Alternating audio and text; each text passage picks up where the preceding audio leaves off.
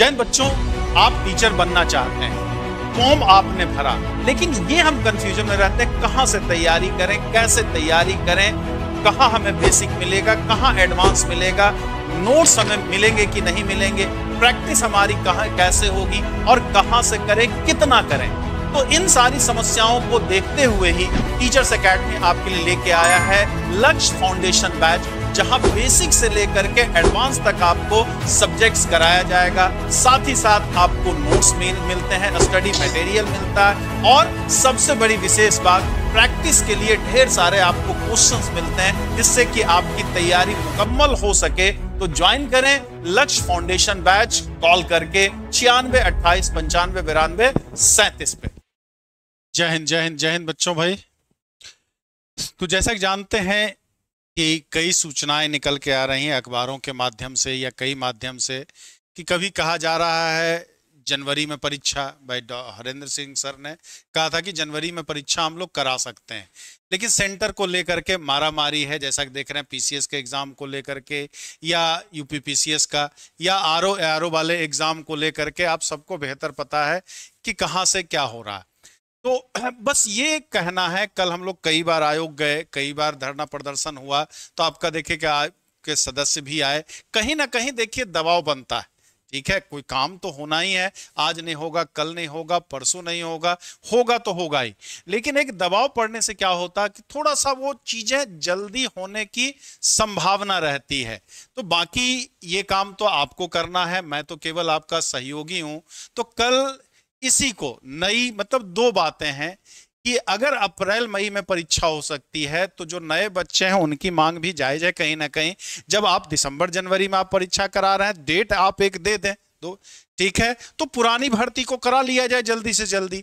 लेकिन अगर वो अप्रैल में खींच रहा है परीक्षा तो ऐसा नहीं है कि आपको अगर सेंटर नहीं मिल रहा है, सेंटर में दिक्कत आ रही है तो 15-20 दिन पोर्टल खोल करके अगर नए बच्चों से भी आवेदन ले लिया जाए तो कोई बड़ी बात मतलब कोई मुश्किल बात नहीं है। अगर मनसा हुई तब, अगर मनसा साफ़ हुई तब तो इन्हीं सारी बातों को ले करके कि डेट क्लियर हो। क्योंकि पिछली बार जब हम लोग गए थे आयोग पे, जो आपको डायरेक्ट भी वहाँ से दिखाया था, फिर जो उप सचिव महोदय हैं मालवीय सर और उनकी बात भी आप लोगों को सुनाए थे। तो उन्होंने बोला था कि सितंबर के लास्ट तक आपका क्या है कैलेंडर आ जाएगा और ईश्वर ने चाहा तो दिसंबर तक परीक्षा हो जाएगी। ठीक है? तो तीन बातें और अध्यक्ष आ जाएँगे इसी महीने, यानी सितंबर में। तो एक बात तो उनकी सही निकली कि अध्यक्ष महोदया आ गई भाई। उन्होंने ज्वाइन कर लिया, वित्त नियंत्रक भी आ गए, ठीक है, परीक्षा नियंत्रक भी आ गए। तो ऐसी मतलब कोई ऐसा बड़ा पद नहीं कह सकते हैं कि जिसके बिना काम नहीं चल सकता। हाँ वित्त नियंत्रक और परीक्षा नियंत्रक दोनों बड़े अध्यक्ष, तीनों बड़े इंपॉर्टेंट थे आपके तो वो सब आ गए। तो अब मामला हिलावाली का हो रहा है, क्या सेंटर को लेकर के भाई? क्योंकि बड़े बड़े सारे नियम कानून जो पेपर लीक को लेकर के हुआ था आपका, बहुत सारा, उस पर नियम बनाया गया, एक सरकारी विद्यालय में ही आपकी परीक्षाएँ होंगी। तो सरकार मतलब वो सरकार भी जानती है कि जो ईमानदारी वाला काम होता है, वो सरकारी विद्यालय में ही होता है। प्राइवेट विद्यालय में देने से क्या होता है? पेपर लीक की संभावना ज़्यादा रहती है। लेकिन एक तरफ़ क्या कहें, सरकारी विद्यालय को ही धीरे धीरे बंद किया जा रहा भाई। टीचर ही नहीं रहेंगे। पहले टीचर ही नहीं है। पहले टीचर कम करो तो माँ बाप क्या करे भाई? गार्जियन क्या करे? धीरे धीरे बच्चों को वहाँ से निकाल ले रहा है। ठीक है? उसके बाद क्या होता है? ठीक है, सरकारी भाई, बच्चे कम है। अब इस विद्यालय को बंद कर दिया जाए। दूसरे जगह उन बच्चों को शिफ्ट कर दिया जाए तो बड़ी सारी चीज़ें हैं तो उस पर तो हम लोग बहुत नहीं जाएँगे, ठीक है? लेकिन हम लोग को एक काम ज़रूर करना है तो आयोग पे कल फिर से आपका धरना प्रदर्शन है आपका। तो एक बार जितने भी आसपास हैं, आप लोग, यहाँ तो आप लोग कमेंट करते हैं, यहाँ तो बड़ा उत्साह दिखाते हैं, कई बार आप हमें भी डांट देते हैं, ठीक है? लेकिन जब असली लड़ाई की बात आती है तो आप सोचते हैं, घर में बैठे हमारी लड़ाई कोई और लड़ दे। जो बात मैं हमेशा ही कहता हूँ, कई बार कह चुका हूँ कि सब चाहते हैं कि भगत सिंह पैदा तो हों। लेकिन सर, मेरे लिए भगत सिंह आप बन जाइए ना। आसपास वाले कोई दूसरा बन जाए ना, हम ना भगत सिंह बने। मेरे घर में कोई भगत सिंह ना बने। भगत सिंह पैदा हो, लेकिन पड़ोस के घर में पैदा हो। हम उसका मलाई काटें। हम उसका, देखिए थोड़ा सा बात बुरी लग सकता है। तो ऐसा नहीं है कि अगर इलाहाबाद में जितने सारे लोग हैं साढ़े तेरह लाख के आसपास फॉर्म भराया है, टीजीटी, पीजीटी को लेकर के। लेकिन जहाँ तक दबाव बनाने की बात आती है तो वहाँ पहले तो पचास से साठ लोग पहुँचते थे, लेकिन लास्ट टाइम में कम से कम पाँच, छह, सौ लोग पहुँचे थे पाँच सौ नहीं, हज़ार के आसपास संख्या पहुँची थी। तो इसका एक बहुत बड़ा महत्व होता है, क्योंकि शासन, प्रशासन की नज़र सब पे रहती है। तो कितना, देखते हैं कि कितना जोश खरोश है, कितना उमंग है, कितना लोग चाहते हैं, अरे साढ़े तेरह लाख में हजारे बच्चा तो पहुँचा रहा भाई, हजारे बच्चा तो पहुँचा रहा। तो आदमी को, चलो ठीक है भाई, अभी ठीक है, थोड़ा सा और खींचा जा सकता है थोड़ा सा और खींचा जा सकता है डिले ऐसे बात रोज न्यूज़ पे आ रही है, ठीक है? आप भी देख रहे हैं, मुख्यमंत्री महोदय भी जो है, वो अक्सर हर सभा में कहते हैं कि नया आयोग बन गया, इतना आएगा, उतना आएगा, इतनी सीटें आएगी, इतनी भर्ती होंगी। लेकिन कब? सवाल उठता है कब होगा? नई वैकेंसी आएगी तो एक डेट तो देना है, एक टेंटेटिव डेट तो दिया ही जा सकता है कि हर बच्चा जो अभी निराशाजनक है, दुविधापूर्ण में कि तैयारी करें तो कितना देर करते रहे, कब तक करते रहे, कब परीक्षा होगी? तो एक जब क्लियर रहता तो आदमी मन से करता है उन सारी बातों को। कब तक करता रहेगा? जीवन यापन भी ज़रूरी होता है बहुत सारी चीज़ें, क्योंकि हर आदमी अंबानी, हर बच्चा जो होता, अंबानी अडानी का बेटा तो है नहीं भाई, कि ज़िंदगी भर तू पढ़ते रह माँ बाप ज़िंदगी भर पैसा भेजते रहेंगे, प्रयागराज में हो या यहीं हो, ठीक है, जैसे हमारे यहाँ ही है। अब एक बार लेते हो, दो बार तो हमारे ऊपर कहते हो, सर, कोर्स बेचो बेचो बेचो भाई, तीन बार करो, वो बार करो।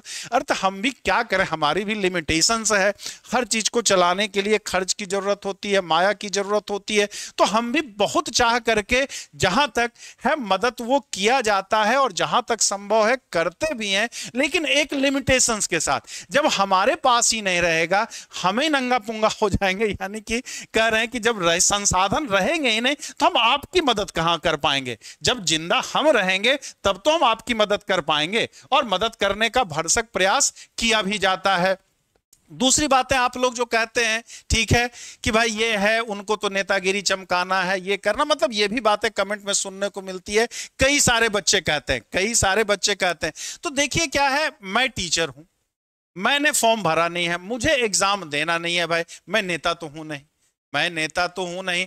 और कहीं भी जाते हैं, धरना प्रदर्शन देना होता है तो पहले प्रशासन से क्या करना होता अनुमति लेनी होती है। या तो मैं क्लास बंद कर करके, धर अनुमति लू जा करके भाई। भाई आपको क्या लेना देना भाई? आप टीचर हैं, पढ़ाए, अपना कोर्स खत्म किए, बात खत्म करिए। आपको कौन सा ज़रूरी है? तो उसके लिए कि जो उस फ़ील्ड से जुड़े हुए हैं, हर फ़ील्ड का एक स्पेशलिस्ट होता है हमारा, ठीक है? तो वही वो काम कर सकते हैं, वही दौड़ भाग कर सकते हैं। लेकिन ये है कि मुफ़्त में तो मच्छर भी नहीं काटता, वो भी बदले में खून पीता है।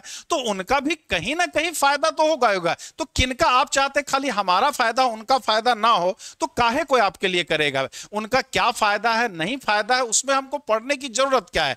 आपके साथ हैं, अगर दिन रात लगे हुए हैं, पोस्टर आज जाके लगा रहे हैं, वो कर रहे हैं तो उनमें हमारा क्या है? हमें भी अपना फ़ायदा देना चाहिए। अगर उन सहयोग करने से ठीक है, फ़ायदा होता तो बिल्कुल करना चाहिए। और सामाजिक काम है तो समाज में एक दूसरे के फ़ायदे के लिए ही करते हैं।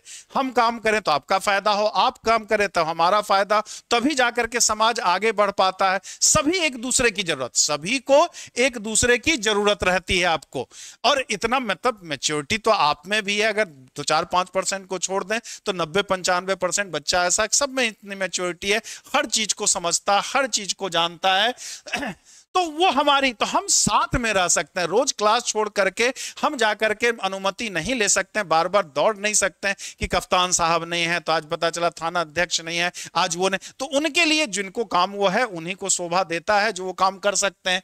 तो कल फिर से युवा मंच द्वारा आपको ठीक है? अपील की गई है, अपील ही कर सकते हैं, मैं भी अपील कर सकता हूँ, ठीक है?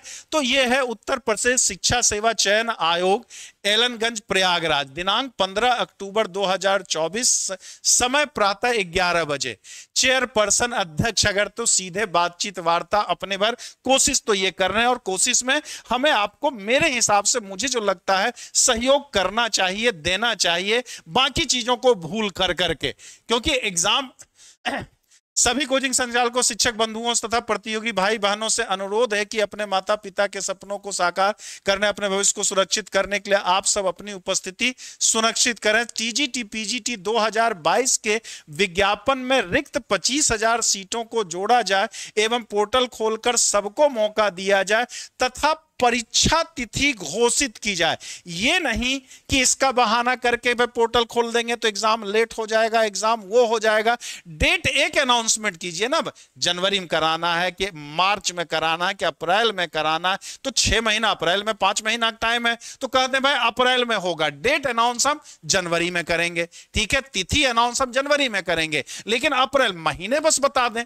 ठीक नई भर्ती आएगी। तो नई भर्ती कहा तो जा रहा कि नई भर्ती? और आएगी भी, ये भी सही बात है कि नई भर्ती आएगा ही आएगा। शिक्षा निदेशालय ने प्रशासन को रिक्त पदों का ब्यौरा भेज दिया रिक्त पदों का ब्यौरा भेज दिया है कि प्रधानाध्यापक में कितने हैं, टीजीटी में कितने पद खाली हैं, ठीक है, कि सत्तर के आसपास मतलब बीस, बाईस, इक्कीस हज़ार के आसपास टीजीटी में है, पाँच, छह हज़ार के आसपास आपका क्या है, पीजीटी में। तो वो निदेश, शिक्षा निदेशालय को ये चीज़ प्राप्त हो गया, उन्होंने प्रशासन को भेज दिया। अब आयोग की बात है तो बात डिले ना हो, बस चीज़ों को किया जाए, ठीक है? तो आप कोशिश करें, जितने आसपास इलाहाबाद, मैं जहाँ तक जानता हूँ, प्रयागराज के आसपास नहीं, कुछ तो कम से कम पचास हज़ार बच्चे होंगे। पचास हज़ार में दस परसेंट भी अगर पहुँचे तो बहुत बड़ी बात हो जाती है और उतना का ही काम होता है। लेकिन बात वही होती है ना कि हम सोचे वो चला जाएगा, वो सोचे वो चला जाएगा, वो सोचे वो चला जाएगा। ठीक है, हम कहे जाए भाई? हम तो इतना बिज़ी शेड्यूल में दो घंटा, तीन घंटा निकाला जा सकता, मेरा कौन सा स्वार्थ है? आपने भी पेमेंट की है, मान लिया कुछ किया है, ऐसे यूट्यूब पे ही आपको इतनी सारे दी जाती है। ठीक है? तो उसमें क्या है? तो हम आयोग पे जाकर के हम डायरेक्ट नहीं कर सकते, हम आपके साथ रह सकते हैं, साथ खड़े रह सकते हैं और उसमें आप मुझे कभी पीछे नहीं पाएँगे। जब भी आप उठा के देख लीजिए, मैं पहुँचा हूँ, आपका मनोबल बढ़ाने का प्रयास किया हूँ, साथ में रहा हूँ, ऐसा। लेकिन आगे तो एग्ज़ाम आपको देना है तो जागरूक आपको होना पड़ेगा, सीट वृद्धि आपको होना, सीट वृद्धि आपको चाहिए। तो आपको आगे जब तक आप नहीं रहेंगे, खाली मेरे अकेले जाने से कुछ नहीं हो सकता। इस बात को बेहतर आप जानते हैं। जाना नहीं चाहते इंडिया में तो बस हम इंतज़ार करते, या तो फिर इंतज़ार करते रहिए भाई। तो आपको फिर कहने का अधिकार भी नहीं है। आपको हमें कुछ कहने का अधिकार नहीं है, ठीक है? आप को खुद जागरूक होगा, हमें पीछे पाएँगे, तब आप हमें कह सकते हैं। लेकिन आप घर पे बैठे रहें, बस खाली कमेंट में आकर के उल्टा पुल्टा जो दो चार दस परसेंट लोग कहते हैं, ठीक है, कब होगा, आप तो ऐसे ही बोलते हैं, आप तो मैं तो खुला खेल फरुखाबादी वाला हिसाब किताब कहते हैं ना, एक कहावत है, सुने है, सही है कि गलत है, जो भी है आपका, ठीक है? आपको मैं स्वयं बुलाता हूँ, आप स्वयं चलिए कि उप सचिव या अध्यक्ष क्या कहते हैं, क्या नहीं कहते अपने कानों से सुनिए, अपनी बात को वहाँ रखिए। वहाँ अपनी बात को रखना होगा कि कब आखिर, कब युवा कब तक इंतज़ार करता रहेगा। दो साल, नई सीटों में, स्कूलों में पढ़ाई का आलम, इतने सीट मतलब शिक्षकों की कमी है कि पढ़ाई की व्यवस्था चरमरा गई है। आप ही नहीं कह रहे हैं, शिक्षक जो प्रबंध तंत्र है, वो भी हैरान परेशान है कि किससे पढ़वाएँ, कहाँ से पढ़वाएँ, कैसे पढ़वाएँ? हर टीचर की कमी है भाई। ठीक? तो सब कुछ है तो फिर दिक्कत कहाँ आ रही है? तो सवाल जवाब तो आपको करना पड़ेगा ना। और हम लोकतंत्र है तो लोकतंत्र में सवाल पूछना हमारा अधिकार बनता है। लेकिन सही जगह पे आप हमसे सवाल पूछेंगे तो मैं सवाल, ना मैं आयोग का अध्यक्ष हूँ। मैं बीएम हूँ सीएम भी नहीं हूँ भाई। ठीक, आप हमसे सवाल तो जो हमसे सवाल पूछते हैं कमेंट बॉक्स में, आप अगर वहाँ चल करके पूछेंगे तो आपको सटीक जवाब मिलेगा। आप जैसे कहते हैं ना कि, सर, आपने अनाउंस कर दिया टीचर्स एकेडमी वाले तो दो साल से करा रहे हैं परीक्षा भाई। ठीक तो हम क्या कर सकते हैं इसमें? हाँ कहीं से कुछ सूचना मिलती है तो आप तक पहुँचाने का एक माध्यम ज़रूर है। उम्मीद की एक किरण आपको जागती है, उम्मीद की किरण एक हमें भी जागती है। तो वही कर सकते हैं ना। जब तक एग्जैक्ट तो वही जो उस कुर्सी पे बैठे हुए हैं, वही फाइनल डिसीज़न ले सकते हैं, निर्णय ले सकते हैं। बीच बीच में हर तरह सूचना दी जाती है कि चलो कुछ मनोबल तो बढ़ा रहे, यही कर सकते हैं। तो उम्मीद करते हैं कि आप सब लोग कल पहुँचने का प्रयास करेंगे। जितने भी आसपास लोग हैं, बिल्कुल पहुंचिए और मिलजुल करके करेंगे तो कुछ ना कुछ तो होगा ही होगा और कुछ ना कुछ क्या बहुत कुछ होगा। जिस दिन जनता जाग जाती है तो बहुत कुछ होता है, सब कुछ सीटें खाली है, सब कुछ है आपका। लेकिन बस क्या है, हम लोग सोए हुए हैं। हम लोग सोए हुए हैं, इस वजह से चीज़ें डिले होती चली जाती हैं। सर गोरखों से आज रात में, चलिए आप महेश सर और आपको कुछ बताएँगे, कुछ विशेष बातें। युवा पीढ़ी भाई, ये आपकी भावनाओं को ज़्यादा बेहतर से। नमस्कार साथियों। देखिए, कोशिश तो जारी है ही है।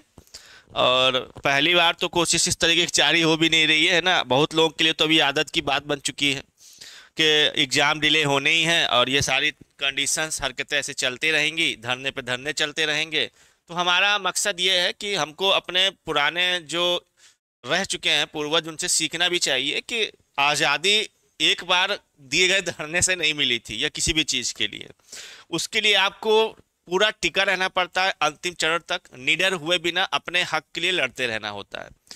बहुत बार, कई बार हम बीएम सर और पूरी संस्था से कई न कई लोग जब भी कुछ धरने की बातें चल रही होती है, वहाँ पहुँचते हैं। और बात बस केवल यही बताई ही जाती है कि कब डेट आप लाएँगे, कम से कम एक कैलेंडर दे दीजिए, एक डेट दे दीजिए, जिससे हम अपनी तैयारी का माइंड सेट कर सकें कि इस मंथ तक हमको अपने प्रिपरेशन कर लेनी है, हम उसके लिए तैयार हैं। क्या आप महीने बता दीजिए, जनवरी में कराना है तो हम तैयार हो जाएँ। हमें अप्रैल में कराना है, हम तैयार हो जाएँ। हमारा कहना तो ये है कि बाई चांस अगर आप अचानक से कल डेट घोषित कर देते हो कि अब नवंबर फलाने तारीख को परीक्षा होगी तो इसके लिए भी तो नहीं तैयारी है ना? बात तो ये है। ढाई साल से भले हम इंतज़ार में बैठे लेकिन इसके लिए भी तैयार नहीं कि आप नवंबर में तुरंत पेपर करा दो एक महीने बाद। कहने का मतलब आप समय तो कम से कम फिक्स करके बताइए तो एक बात। और कोशिश कंटिन्यू हमारी जारी है। जब भी कोई इस तरीके की कंडीशंस होती है कि हमको आयोग के पास जाकर उनसे प्रश्न पूछने की ज़रूरत होती है, हम लोग खुद अपनी क्लास ऑफ़ कर देते हैं और वहाँ पहुँचते हैं। और ये संदेश ये है, जो अनिल सिंह के द्वारा जो संदेश, जो भी युवा मंच के द्वारा संदेश दिया जा रहा है कि 15 अक्टूबर, हमारा कहना यह है, जो भी नज़दीकी लोग हों, जो भी नज़दीकी हों, वो मन में थोड़ा सा ठान के एक बार आ जाएँ। जो भी आसपास के लोग हों जो जहाँ से आ सकते हैं, वो आ जाएँ ग्यारह बारह बजे तक आपका। हम लोग, सब लोग साथ में रहेंगे, सब लोग सुनेंगे, जो भी वहाँ पर मौजूद ऑफिसर्स लोग हैं, अध्यक्ष लोग हैं, जो मिलेगा अपनी बातें कम से कम कहेंगे और कुछ कुछ तो रिज़ल्ट वो देने की कोशिश करेंगे। दूसरी चीज़, जो बहुत दूर है, उत्तर प्रदेश में प्रयागराज शिक्षा सेवा आयोग से बहुत दूर है। उनके लिए भी हमारी ये अपील रहेगी, कम से कम जब हम वीडियो के थ्रू आपको ऑनलाइन के थ्रू वहाँ मौजूद रहेंगे तो कम से कम ऑनलाइन के थ्रू भी आप जुड़े। ग्यारह बजे बारह बजे के बाद ऑनलाइन हम लोग की कंटिन्यू चलेगा तो ऑनलाइन के थ्रू भी आप जुड़े, वहाँ कमेंट करें, आपके ऑनलाइन के माध्यम से भी चीज़ें कहीं ना कहीं पहुँचती हैं। डिजिटलाइजेशन का ज़माना है, और इस डिजिटलाइजेशन के ज़माने में सारी बातें ऊपर अध्यक्ष, उपाध्यक्ष, मंत्री सीएम सब सब तक बातें पहुँचती हैं, उनको छोड़ा नहीं जाता। तो जो बहुत दूर है, उनसे हमारी अपील ये होगी कि वीडियो के थ्रू कमेंट के थ्रू आप जुड़े, बोले, कुछ ना कुछ बातें कहते रहें अपनी। और जो ऑफलाइन आ सकते हैं, जितने नज़दीकी वाले हैं, वो ज़रूर प्लीज़ आए, ठीक है? और कल हम लोग वहाँ मौजूद रहेंगे, उपस्थित रहेंगे, हर तरीके के सहयोग के लिए उपस्थित होंगे। काफ़ी और लोग भी मौजूद रहेंगे, सभी लोग मौजूद रहेंगे, और यही आपसे हम एक उम्मीद जगा सकते हैं। बाकी हम लोग हर जगह खड़े हुए हैं। और किसी भी कंडीशन में खड़े हुए हैं, बरसात थी तब खड़े थे, गर्मी का मौसम था तब खड़े थे, ठंडी का समय आ रहा है तब भी खड़े हुए हैं। हर समय लास्ट ईयर बहुत घनी घन घोर ठंडी में भी खड़े हुए थे, है ना? उत्तर प्रदेश लोक सेवा आयोग के सामने एलटी की वैकेंसी निकालने के लिए खड़े थे जीआईसी के लिए खड़े हुए थे वैकेंसी आ जाए, हर चीज़ के लिए होते हैं। बस बात इतनी होती है कि हम चाहते हैं एक संख्या बल, जिस संख्या बल का दबाव पड़ सके उन चीज़ों पर। कई बार न्यूज़पेपर में, अखबार में खबरें निकलती हैं कि हमारे उत्तर प्रदेश के सीएम योगी आदित्यनाथ जी ने कहा है कि जो भी रुकी हुई भर्तियाँ हैं, उन पे जल्द से जल्द क्रिया आगे बढ़ाई जाए, कुछ ना कुछ चीज़ें उसको निकाल के भर्तियाँ कंप्लीट की जाए। लेकिन ये एक हफ़्ते, हर हफ़्ते, हर दस पंद्रह दिन बाद केवल अखबार में यही निकलता है। उस पर एक्शन कब हुआ, किस तरीके से हुआ, उसको कोई रिज़ल्ट नहीं आ रहा होता। है ठीक है, और अब यूपी जैसे सबको पता होगा यूपी पीसीएस का जो एग्ज़ाम होने वाला है हमारा, या आर ओ के लिए भी बातें चल रही हैं कि दो दिन में क्यों पेपर करा रहे हैं, वो एक समय आया अक्टूबर में होगा, फिर आए दिसंबर में होगा, अब कुछ चीज़ें कह रहे हैं, दिसंबर में भी हम नहीं पेपर करा सकते हैं नॉर्मलाइजेशन खत्म कर दीजिए, बहुत चीज़ें हैं जो डामा डोल है उत्तर प्रदेश के अंदर। ठीक है फ़िलहाल अगर हम अपने हक की बात करते हैं अपने एग्ज़ाम्स की बात कर रहे होते हैं तो हम ये चाहते हैं कि सभी लोग वहाँ मौजूद रहें आए ऑनलाइन के थ्रू जुड़े जो आ सकते हैं जो नहीं आ सकते हैं वो ऑनलाइन के थ्रू जुड़े जो आ सकते हैं बिल्कुल ऑफलाइन के थ्रू जुड़े। हम लोग वहाँ मौजूद रहेंगे सब लोग का वहाँ संख्या बल होना चाहिए और फिर उसके साथ अपनी बातों को रखेंगे। आ, सर? अंत में यही ये स्लोगन तो है आओ स्कूल चलें हम। लेकिन दशा हो गई कि आओ, आयोग चले हम। ठीक है? क्योंकि आयोग पहुँचे, बच्चे, शिक्षक भर्ती हो, तब ना बच्चों के लिए स्लोगन देंगे, भाई आओ, स्कूल चले हम। जब मास्टरे ना रहेगा तो स्कूल जा करके क्या करेंगे? स्कूल जा करके क्या करेंगे? तो सरकारी स्लोगन ही है, आओ, स्कूल चलें। बस उसको हमने बदल के कर दिया है। आओ, आयोग चलें अपने हक की लड़ाई के लिए। तो एक बार करना होगा। जय हिंद जय भारत।